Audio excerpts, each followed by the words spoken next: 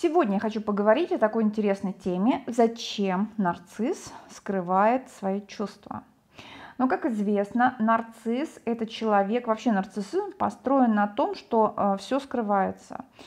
То есть нарцисс прячется за какой-то маской. У него как бы они иногда говорят, что мы как бы прячемся за каким-то плащом.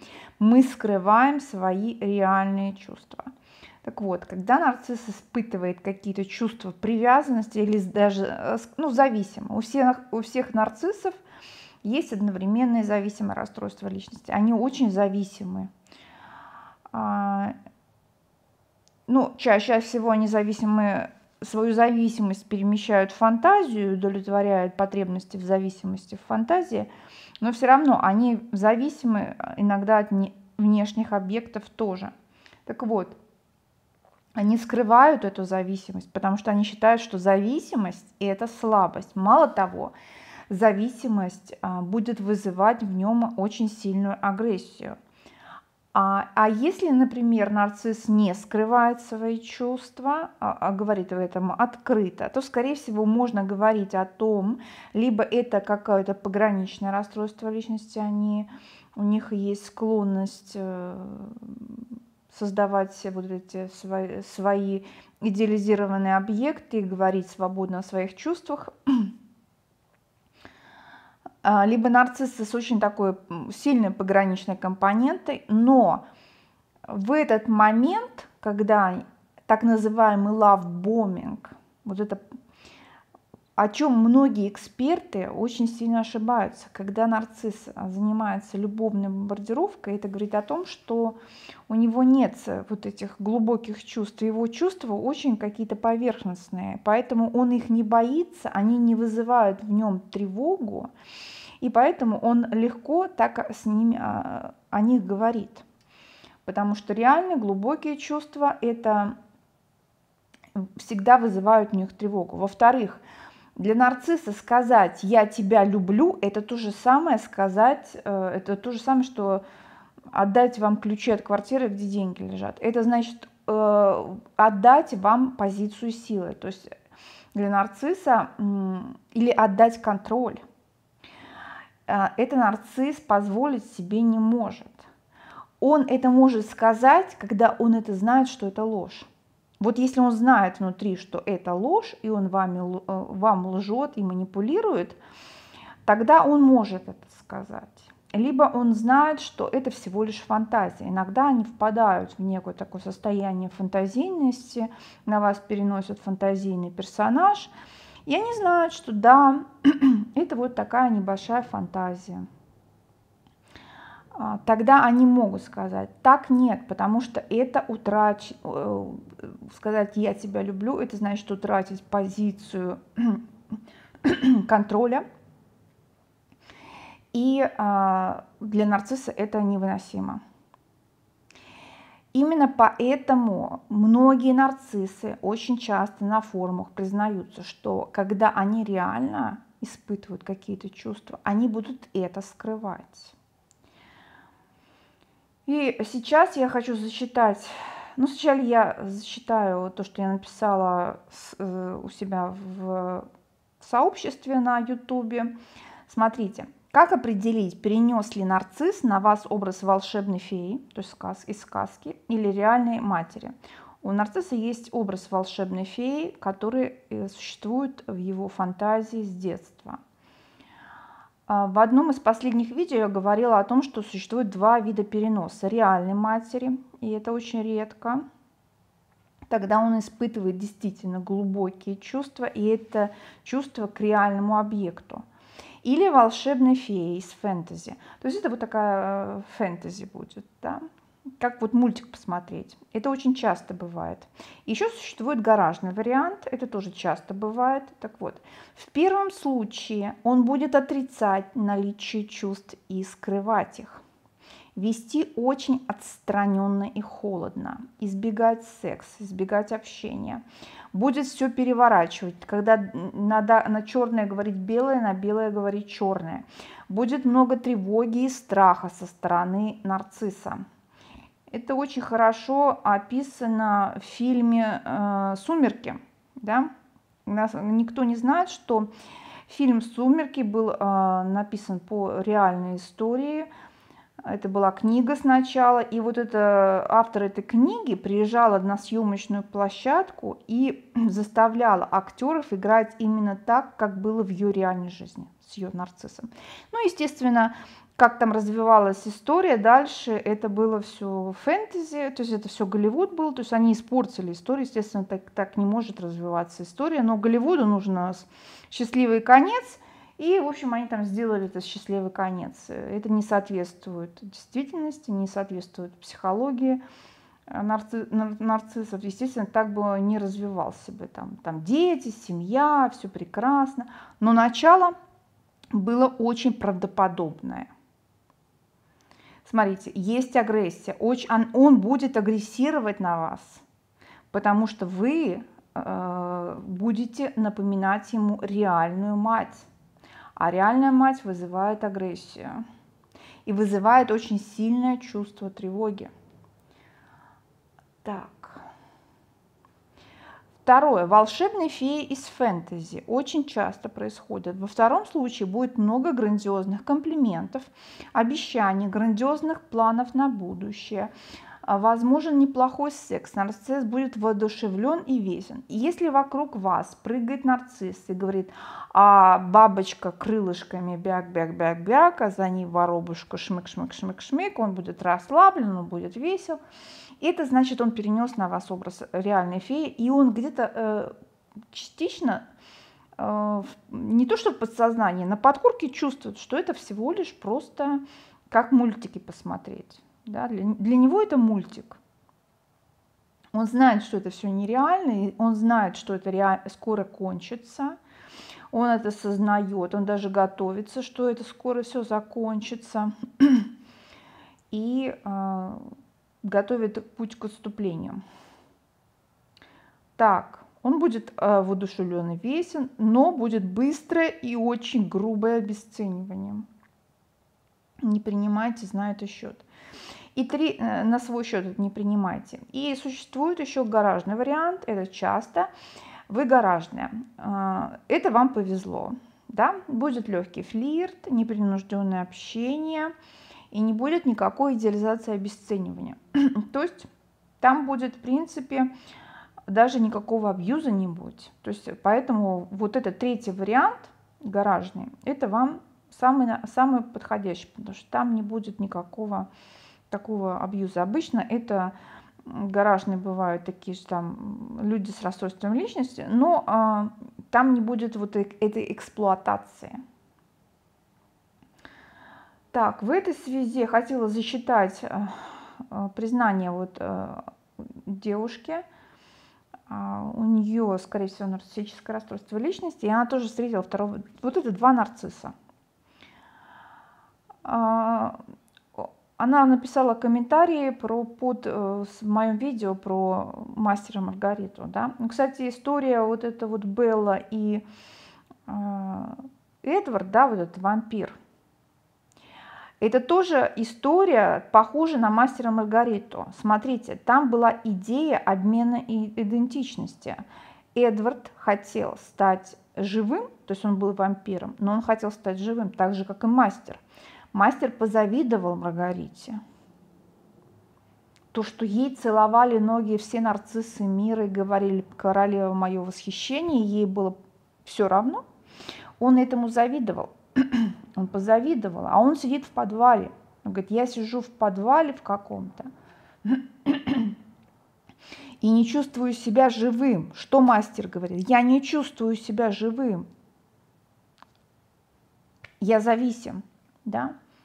И он позавидовал Маргарите то, что она живая. То же самое здесь в этом фильме. И Эдвард постоянно завидовал Белли то, что она живая, и он пытался себя уничтожить, да, выйти на свет и себя уничтожить. Нарциссы то же самое делают а, с помощью э, всяких высокорискового поведения. Вот, кстати, мне тут недавно одна девочка написала, что ее нарцисс постоянно рвется на фронт, его там уже ранили, контузили, он только вылечился, идет опять на фронт, потому что их тянет драма, их тянет, потому что на фронте при высокорисковом поведении усиливается вот эта травматическая связь, регресс психики в детское состояние, вот эта вот возможность переформатирования себя. Э, и поэтому они вот так себя ведут неадекватно. Я хотела почитать, э, да, девушки. Вот она пишет. Хочется понять, что будет дальше, как он будет действовать, чтобы подготовиться. На днях сам назначил свидание, сказал, что хочет меня видеть, но в день встречи он ничего не написал, ожидая действия от меня. Я тоже ничего не стала писать, так наша встреча не состоялась. Ну, помните, вот у Эдвард и а, в этих сумерках тоже они там постоянно не могли встретиться. То же, то же самое, как Маргарита с мастером, они постоянно были врозь. Маргарита постоянно была одна, они не могли взаимодействовать из-за ее, его нарциссизма. Так наша встреча не состоялась. А еще обиделся на меня за то, что я ездила на море. Э, он увидел фото в соцсетях. Позавидовал. Татьяна, как вы верно все описываете. Импат с признакой так, темной триады есть пограничник. Но это не факт. А, есть идея о том, что нужно всеми силами разрушить это препятствие между мной и нарциссом и разрешить конфликт. Да, я описывала, что у многих людей, которые вышли из э, семей, где родители были эмоционально недоступными, не факт, что нарциссами, эмоционально недоступными, у них есть идея это есть у пограничников, это есть у нарциссов, это есть у, у обыкновенных, да, невротиков, а, так называемых эмпатов. А, идея найти похожего родителя и попытаться его излечить. Об этом говорил тоже Сэм Вакнин. Идея излечения родителя. так, и вот у этой девушки тоже есть эта идея она сама, будучи нарциссой, хочет излечить другого нарцисса. Но защитить себя тоже необходимо, иначе он, меня, он не оставит от меня ничего. И я не превращусь в демона, как он, и не по, по, падаю к его ногам, став зависимой. Получается, что и не туда, и не сюда. Он боится, делает робкие шаги навстречу, потом отстраняется, ожидая реакции от меня. Ну вот, в принципе, ведет себя как Эдвард, да? Я не даю ему эту реакцию, которую он ждет. Конфликт остается неразрешенным. Да, когда два нарцисса встречаются, у них начинается вот этот танец, да, шаг наз... один шаг вперед, два шага назад. Это вот как действовал, в принципе, вот этот вампир. И как действовал мастер, да? Он же куда-то свалил в какую-то там якобы больницу. Все происходит именно так, как вы описываете. При этом обесценивание с его стороны не начинается. Почему? Потому что он перенес на вас не образ обесценивания, будет, когда он перенесет образ реального родителя, э, фантазийного родителя. И тогда он будет требовать от вас, чтобы вы стали э, волшебной феей, да, которая исполняет все его желания. А тут он перенес на вас образ реального родителя, и поэтому а он от вас изначально не ждет никакого волшебства.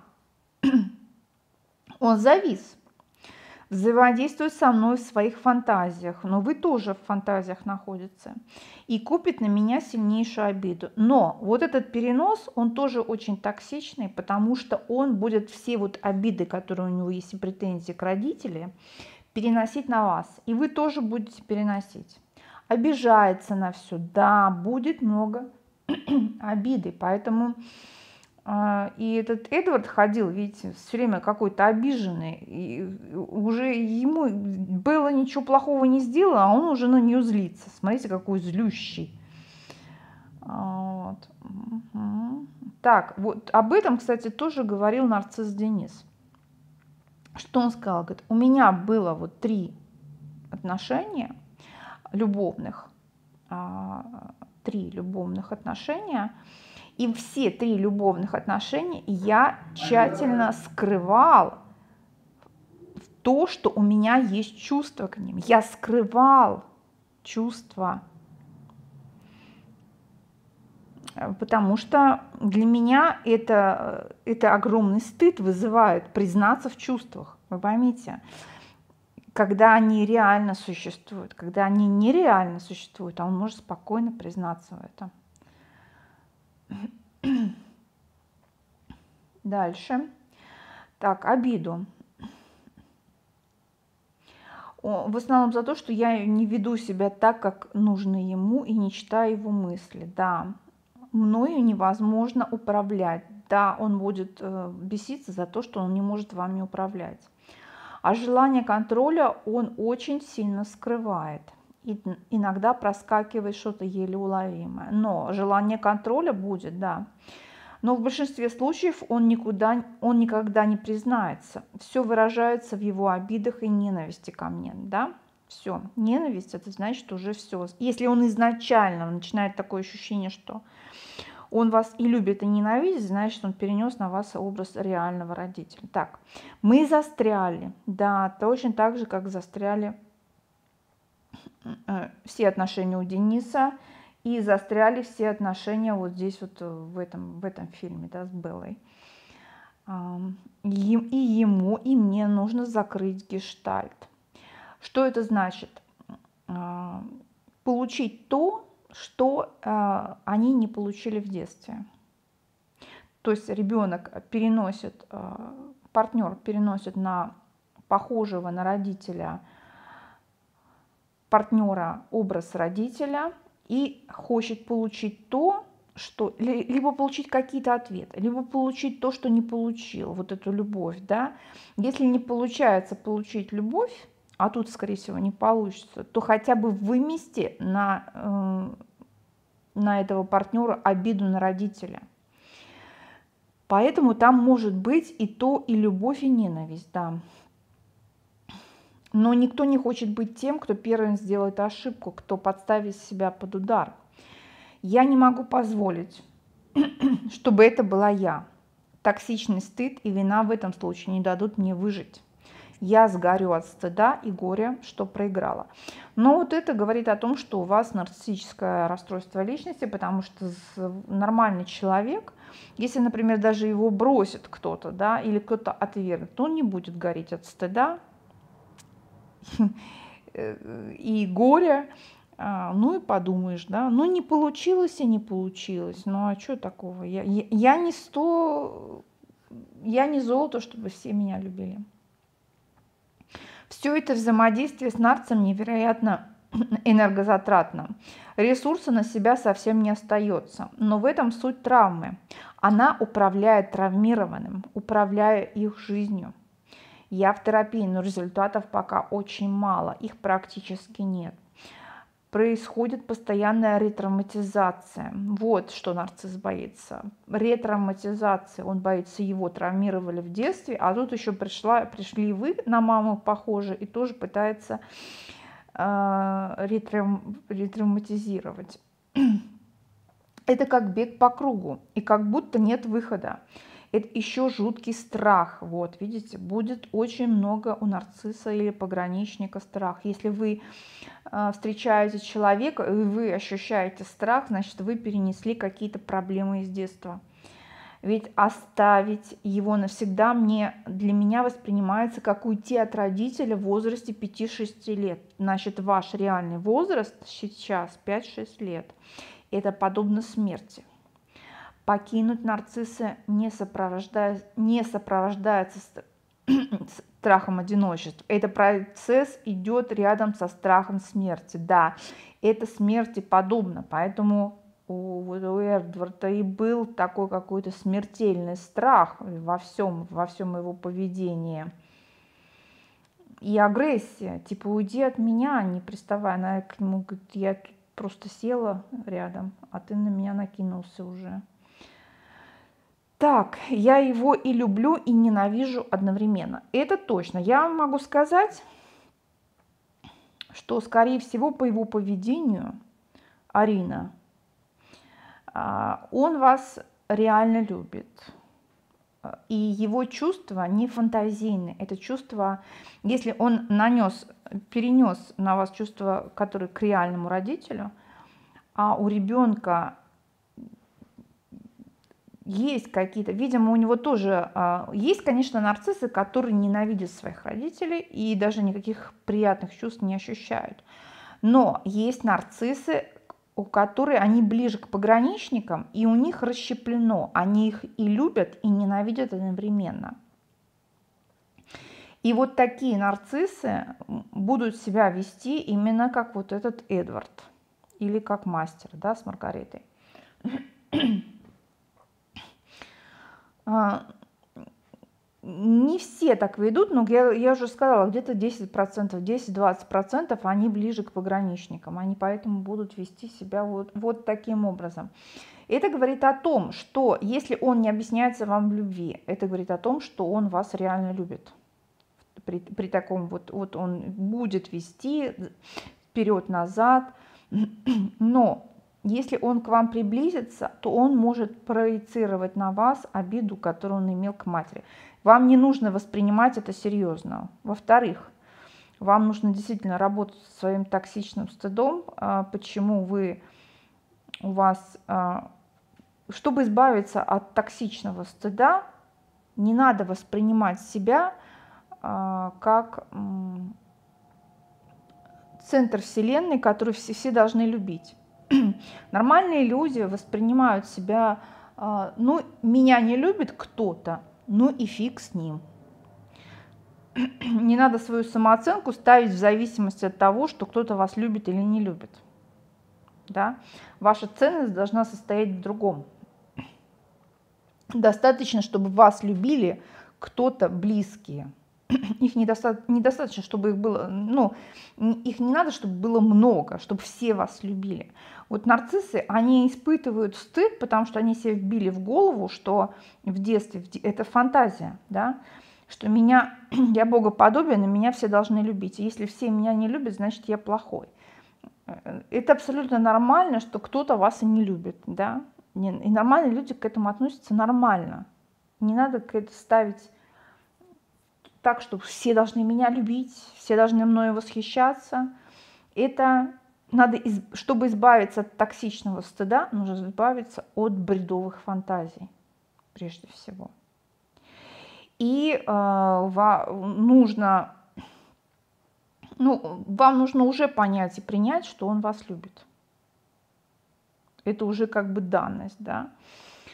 А, дальше у вас будет, конечно, он может вам вас атаковать, как это делал Эдвард. Он атаковал, постоянно разочаровывался, типа уйди от меня, потому что ему тяжело тоже.